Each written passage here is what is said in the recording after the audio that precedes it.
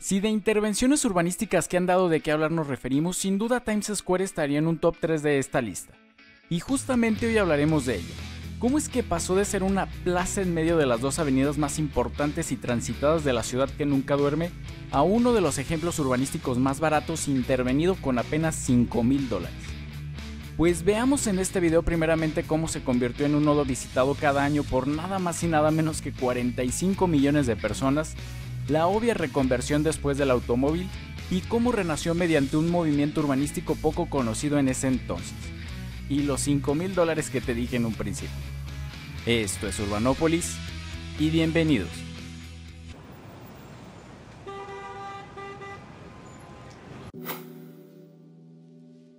La historia de Times Square comienza desde el plan que moldeó a la moderna Nueva York, el plan de los comisionados en 1811. Y es que originalmente la parte sur de la ciudad estaba trazada de una forma irregular debido a los holandeses, cuando era todavía Nueva Ámsterdam, quienes como en cualquier ciudad de la época la trazaron al azar, sin una planificación y conforme iba creciendo. Todo lo anterior era con lo que buscaba acabar el plan de los comisionados en 1811 mediante la rígida cuadrícula que conocemos hoy en día, y que en ese entonces, como pasó con el Plan Cerdá para Barcelona, se consideró todo un plan visionario y adelantado a su época, y en cierta medida vaya que lo fue, aunque eso lo veremos más a fondo en otra ocasión. Este plan, además de dejar la extensa cuadrícula que hace tan característica Manhattan, creó espacios y calles que quedaron como vestigios de la antigua traza de Nueva Ámsterdam, como lo fue justamente la avenida de Broadway, por supuesto llamada así después por los estadounidenses. Esta arteria de la ciudad rompió con la estricta cuadrícula que seguía el plan y conectó la parte media de Manhattan y el sur con una diagonal que dejó varias intersecciones un tanto confusas, pero que crearon después varios iconos dentro de la ciudad, como el Flatiron Building y justamente la Times Square.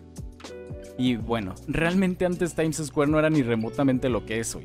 Incluso tenía otro nombre, la Long Acre Square, que fue precisamente cambiado cuando en 1904 el New York Times, así es, el periódico, decidió instalar ahí sus rascacielos de oficinas, dándole así el nombre actual a la plaza. Pero bueno, no estamos aquí para hablar extendidos de su historia, aunque era bueno conocer el contexto ya que gracias al cambio que sufrió y la consecuente explosión demográfica y económica de la ciudad, hicieron que la plaza, así es, esto era una plaza en términos estadounidenses, se convirtiera en uno de los nodos más importantes de Nueva York. Como ya sabremos, durante todo el siglo XX la plaza estuvo rodeada por dos de las avenidas más importantes y transitadas de Nueva York, la séptima y Broadway. Pero, ¿cómo una plaza podría estar encerrada de esta manera? Y no solo esto, sino que, como hemos dicho, uno de los sitios más transitados por peatones no solo en Nueva York, sino a nivel mundial.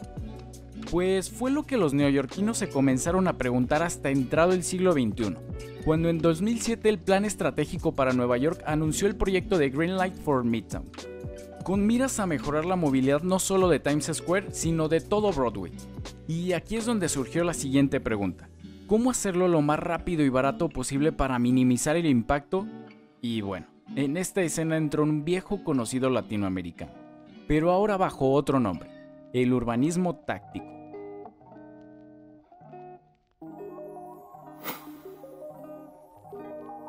El 22 de abril de 2007, el entonces alcalde Bloomberg presentó el Plan New York City, que planteaba una serie de mejoras para la Gran Manzana mediante varias acciones, desde las ya esperadas ambientales hasta las mejoras en la movilidad. Para esto, el Departamento de Transporte de Nueva York encargó un informe que reveló que la ciudad tenía un flujo importantísimo de peatones. Nada nuevo, pero de hecho podríamos hablar ya de atascos en las aceras. Sin embargo, con una falta de espacios para estos y los ya existentes con grandes carencias como Times Square. Y justamente la plaza y la avenida Broadway fueron los seleccionados en 2009 para mejorar su movilidad y la seguridad de todos los usuarios que diariamente las transitaban. Debido a las características de la avenida, esto es, el ser una diagonal insertada en la rígida parrilla de Nueva York, presentaba un diseño geométrico muy problemático especialmente en los cruces de Times Square y Herald Square, que formaban unos ángulos que no favorecían a nadie.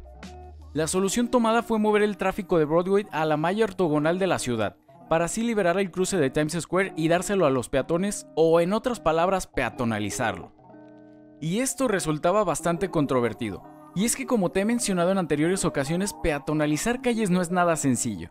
De hecho, podríamos decir que es el deporte extremo en el urbanismo. Pues ahora imagínatelo en una avenida tan transitada, en una de las ciudades más grandes del mundo, en un país con una fuerte cultura automovilística y en donde ejemplos anteriores de peatonalización como los famosos pedestrian malls de los 60s y los 70s habían salido tan mal. Que dicho sea de paso y para que te des una idea, de los más de 2.000 construidos solo quedaron 30 de ellos. Bueno, Nueva York la verdad es que no lo tenía tan fácil. Sin embargo, lo logró, y con apenas 5 mil dólares. La peatonalización del cruce comenzó en mayo de 2009 con una intervención temporal bajo un movimiento llamado urbanismo táctico. Pero, ¿y esto? Realmente no era nada nuevo, ya que casi 40 años antes Jaime Lerner había hecho lo mismo en Curitiba para la calle 15 de noviembre, solo que llamándolo acupuntura urbana en su caso, como lo vimos en el video.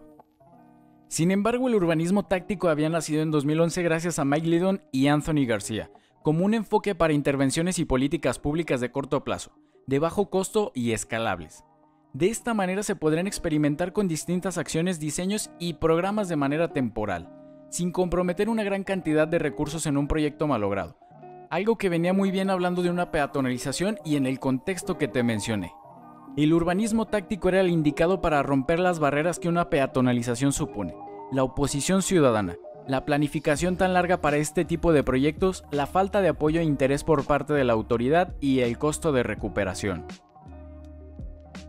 Así, Tim Tompkins, el presidente de la Times Square Alliance, compró 376 sillas de 15 dólares cada una y las montó en el cruce con una intervención que duró 6 meses. De ahí los 5 mil dólares. Estas simples sillas tuvieron un efecto inmediato y la gente las empezó a usar. Sin embargo, lo más importante fue que la intervención supuso un cambio en el discurso. Ya no era el típico dilema de si peatonalizar o no Times Square, sino más bien cómo debería de hacerse. La intervención cerró la avenida Broadway en su cruce con la séptima avenida en cuatro manzanas que presentaban un diseño geométrico que desfavorecían a la plaza y por consecuente haciéndola más grande. O en otras palabras, haciéndola ahora sí una plaza.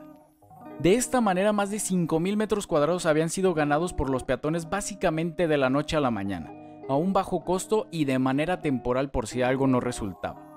Después de la intervención que no solo abarcó Times Square, sino como vimos también a la Herald Square, que de igual manera fue peatonalizada, se devolvieron más de 50 hectáreas a lo largo y a lo ancho de toda la avenida Broadway a peatones y ciclistas, mediante la modificación geométrica de la avenida, el aumento en el tamaño de las aceras, ciclovías y áreas de descanso para los peatones, en su mayoría bajo urbanismo táctico.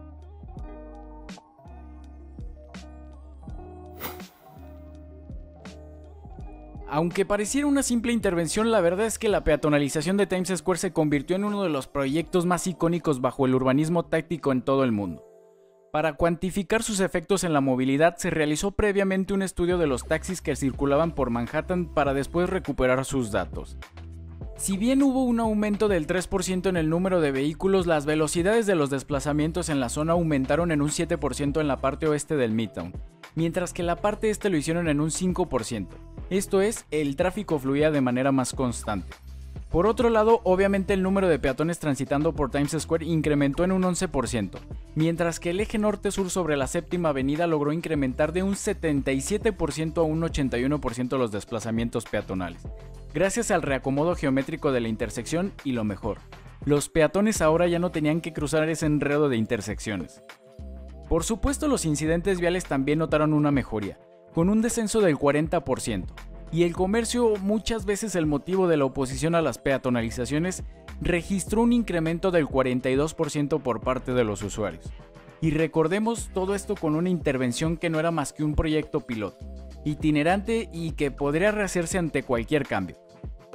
Pero está claro que no lo hicieron, y es que no hacía falta ya que en 2010 el Departamento de Transporte de la ciudad encargó al estudio noruego Snoeta el proyecto de diseño permanente para la nueva Times Square, comenzando en 2012 después de los resultados de la intervención anterior.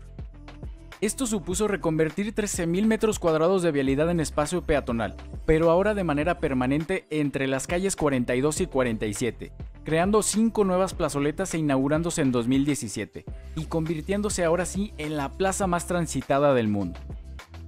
El urbanismo táctico probó poder superar la barrera que suponía la peatonalización de Times Square y sentó un precedente importante para las demás ciudades, incluso dentro de la misma ciudad ya que el éxito del proyecto hizo que el Departamento de Transporte de Nueva York creara el New York City Plaza Program, con el que se intervinieron otros espacios bajo este método.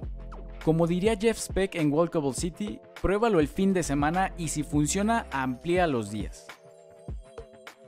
¿Te imaginabas así los inicios modernos de Times Square? ¿Podría el urbanismo táctico mejorar algún espacio en tu ciudad? ¿O qué mejor cuenta si ya lo han hecho? Déjanos tu respuesta acá abajo en los comentarios. Y recuerda que si te ha gustado este video no olvides suscribirte y dejar tu like. Hasta la próxima.